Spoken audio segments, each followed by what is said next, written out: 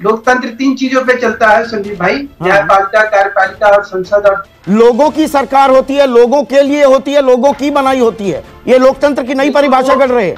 ये लड़ाई बनाने पर आमादा दिखती है क्या बीजेपी और सरकार भी? ये विपक्ष की लड़ाई है या ये किसान आंदोलित हुए थे? ये गैर राजनीतिक एक आंदोलन शुरू हुआ उसके बाद राजनेता आ जाते हैं अपनी सियासी देखिए, से। किसानों को क्या मिला इस बजट में? उनहत्तर दिन से वो आंदोलित हैं। महेश वर्मा कितने परसेंट खरीदारी होती है? जब पूरा देश साथ कितने परसेंट खरीदारी होती है? हमारे देश का मीडिया अक्सर सरकार के नेताओं से सवाल करता दिखाई नहीं देता। ऐसे बहुत कम मौके होते हैं जब मीडिया सरकार से सवाल करता हो। पर आज हम न्यूज़ 24 के वरिष्ठ पत्रकार संदीप चौधरी की बात करेंगे जो अपने शो में भाजपा नेताओं से तीखे सवाल करते दिखाई देते हैं। आज हम आपको उनकी कुछ हाल ही की डिबेट्स दिखाएँगे जिनमें उन्होंने भाजपा के नेताओं से सवाल किए। न्यूज़ 24 पर दीप सिद्धू के मुद्दे पर डिबेट हुई। इस डिबेट में एंकर संदीप चौधरी ने दीप सिद्धू के विषय में भाजपा नेता से सवाल किए, जिस पर वे बात को गोल गोल घुमाते नज़र आए। लेकिन एंकर ने उन्हें अपने तीखे सवालों में घेर लिया। 26 से सबक सीखा। 26 को भी ये किया जा सकता था। 26 को जो हिंसा की हमने तस्वीरें देखी, गणतंत्र जो शर्मसार हुआ, वो नौबत ना आती, अगर यही एहतियात 26 को 11 दिन पहले बरत ली जाती।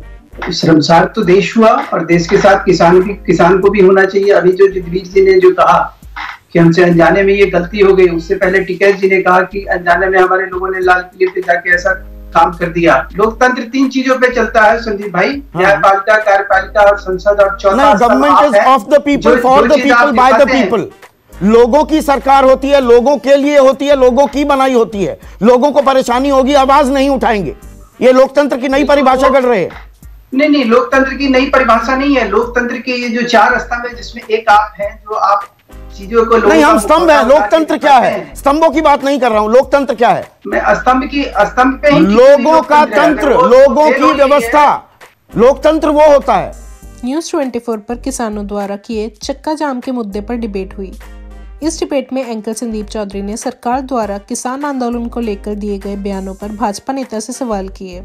लेकिन भाजपा नेता इस सवाल को टालते नज़र आए पर एंकर ने ऐसा होने नहीं दिया और सवाल का सही से जवाब देने को कहा। आंदोलन एक ही राज्य का है। बहत्तर दिन बाद संसद पर संसद के पटल से ये बात कहते हैं किसान।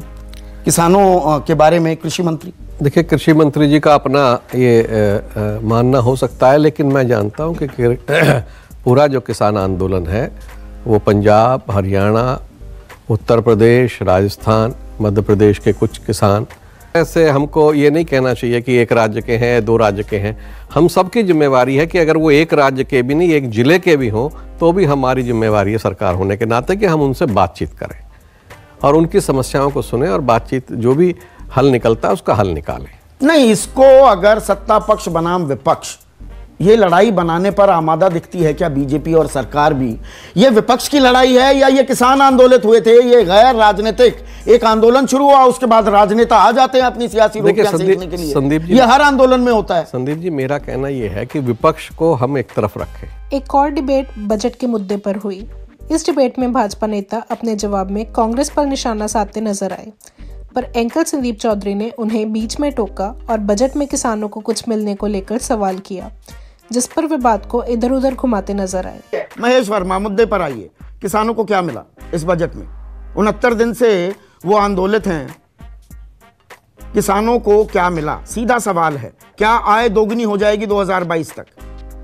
आप किसानों से पूछिए ना उनके दिल पे हाथ रख के पूछिए ना कि ये वही है जो आज तक पचहत्तर हज़ार करोड़ की खरीदारी एमएसपी से कर चुकी है सरकार। अभी तक इस आज़ाद हिंदुस्तान में कभी इस तरह के इतनी इतने स्तर पे कभी कोई खरीदारी हुई तो आप एक डाटा हमें दे दीजिए मैं आपके दर्शकों से माफ़ी मांग लूँगा। कितना परसेंट होती है खरीदारी? ना कि एमएसपी पर कितने परसेंट खरीदारी होती है?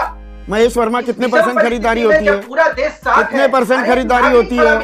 कितने परसेंट खरीदारी होती है? क्या? कितने परसेंट खरीदारी होती है एमएसपी पर?